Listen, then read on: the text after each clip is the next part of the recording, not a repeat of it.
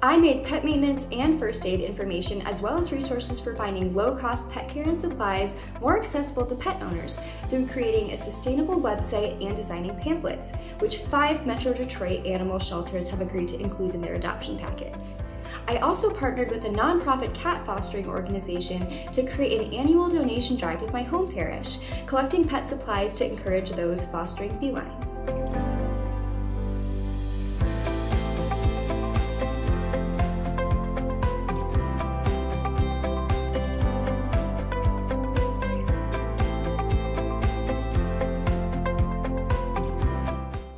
Started my project because I grew up in a pet loving family, and I know firsthand that veterinary bills can be hefty.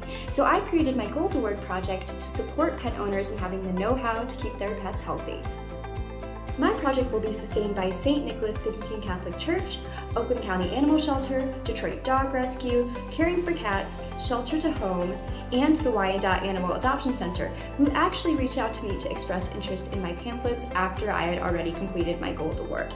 I hope my project continues to grow in impactfulness until pet abandonment is no longer a crisis.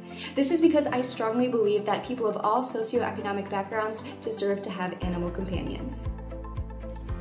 My name is Dorothy Sidau. I am a Gold Award Girl Scout.